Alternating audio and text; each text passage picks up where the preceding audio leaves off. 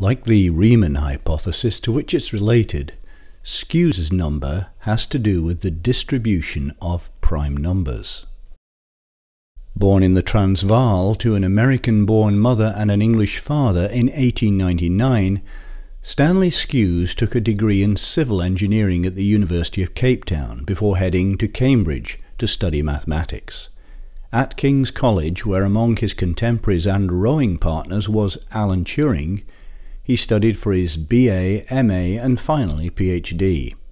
His doctoral supervisor, John Littlewood, was an eminent number theorist and close collaborator of G. H. Hardy, who brought the Indian genius Ramanujan to England.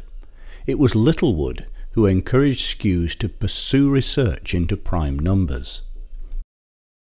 Mathematicians had searched long and hard for a formula that would generate prime numbers without success. However, they had found that the occurrence of primes isn't haphazard. Rather, there are rules governing their distribution. Their density decreases when moving to larger and larger numbers. A result known as the prime number theorem was first proposed by German mathematician Carl Gauss in about 1792, when he was just a teenager but it wasn't until 1896 that the theorem was proved independently by French mathematicians Jacques Hadamard and Charles de la Vallée-Poussin. According to this theorem, the density of primes around any number x is approximately 1 over log to base ex, where log to base ex is the natural logarithm of x. So, around 100 we'd expect about 1 in 5 numbers to be prime, whereas around 1000 this falls to about 1 in 7. The prime number theorem makes it possible to estimate how many primes there are less than any given number n.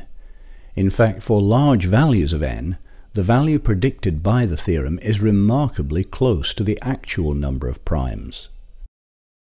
For example, there are exactly 50,847,534 primes less than 1 billion, whereas the theorem predicts a value of 50,849,235, just 1,701 or 0.0033% more.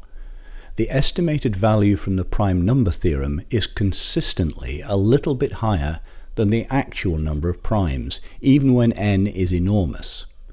In the absence of evidence to the contrary, mathematicians assumed this would always be the case, without exception.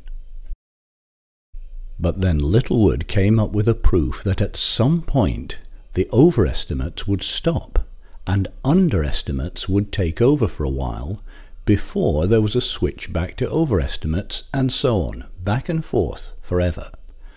Littlewood didn't know when the first crossover would happen.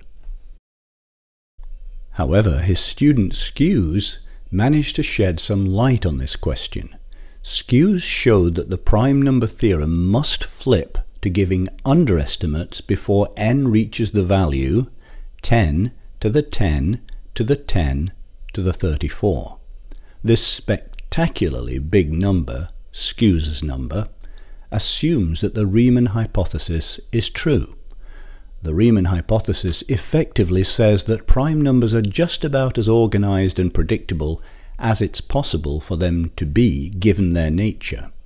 Skewes calculated that if the hypothesis were false, then the prime number theorem would first switch to underestimating the number of primes when n was even larger, about 10 to the 10 to the 10 to the 964, which became known as Skewes' second number.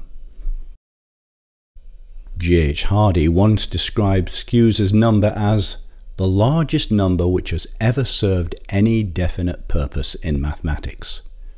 Although it's long since lost that distinction, its immense size does underscore an important point that just because something is held true as far as anyone has managed to test doesn't guarantee it'll be true in every conceivable case. This is one of the reasons mathematicians are never happy until they've found a rigorous proof that will stand for all time. Since Skewes published his results, the lower and upper bounds, depending on whether the Riemann hypothesis is assumed to be true or not, have been drastically reduced. For the past half century or more, computers have been used in these calculations. In 1966, American mathematician Sherman Lehman showed that somewhere between the values for n of 1.53 times 10 to the 1165 and 1.65 times 10 to the 1165, there are more than 10 to the 500 consecutive integers for which the prime number theorem underestimates the actual number of primes up to that point. No one's yet identified a specific number where the crossover first happens.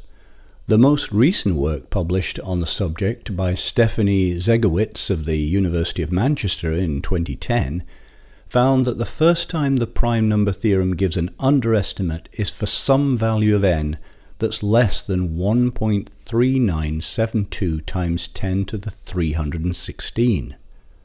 Although still big by everyday standards, this value is minuscule compared with the original Skewes's number.